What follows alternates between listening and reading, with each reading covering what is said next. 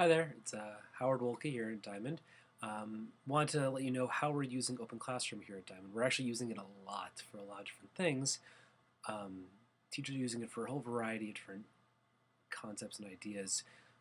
One of the biggest ways we're using it is actually as a digital Dropbox. Um, a lot of the special ed teachers are using it for kids to transfer files back and forth from home to school without having to worry about uh, flash drives, without having to worry about emailing or anything else like that. Um, that's one of the biggest ways a lot of people are using it. I personally am also using it as a Dropbox where students can turn in assignments and then I'll grade them online. Um, makes my life easier when they do that. I can take PowerPoints and other types of files that before I needed flash drives or CDs or anything else using, and now it's just right there in Open Classroom, which is a very nice little feature. Um, I also use it for wiki for a wiki. Uh, my kids do a classroom wiki. Every quarter, students are assigned a place on Earth. I'm a geography teacher. Uh, assigned a place on Earth, and they have to write a two-paragraph uh, encyclopedia definition for that place and include a picture. And they have to do that by the fifth week of the quarter, and then by the last week of the quarter, they have to add content to three other people's uh, words. Um, and it creates a nice little classroom community for kids to work together. Uh, many of us also use the forum features on Open Classroom, um, whether it's optional forums or required forums that kind of continue our classroom discussions.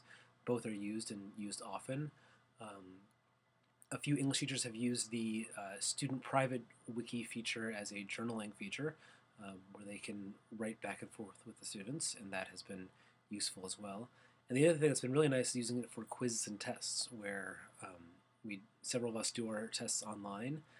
Uh, kids go to the computer lab, they take the test. It's instantly graded for them, with the exception of the essay, which is very nice, and they get that instant feedback. And it's all right there. I don't have to worry about handwriting. They don't have to worry about my handwriting. Um, it solves a lot of the problems. Those are the main ways we've been using Open Classroom. Uh, we're also using it to share uh, some podcasts the kids made, so that way they'd still be private, but not be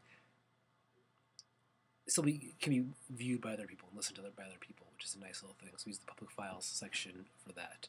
Um, overall, we're using it for a lot of different things here at Diamond. Um, I think of the different uh, types of assignments, of uh, activities that can be added, we use for almost everything. Um, the librarian has done polls in her with the library what books and magazines should be done, used. Um,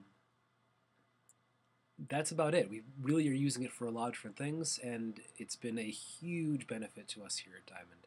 Um, let me know if there are any questions. Thanks.